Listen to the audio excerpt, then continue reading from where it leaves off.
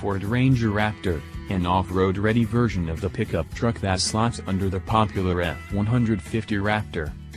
The Ford Performance team is excited to extend the Raptor name from our flagship off-road performance F-150 to Ranger, said Jamal Hameedi, chief engineer, Ford Performance. Just like the F-150 Raptor, the Ranger Raptor builds upon the core capability of the range of vehicles it comes from and carries the unmistakable Ford Performance DNA appearance. Powering the Ford Ranger Raptor is a new 2.0-liter twin-turbo four-cylinder diesel engine. It develops 210 horsepower, 213 PS, and 369 pounds-to-foot, 500 newton-meters, of torque.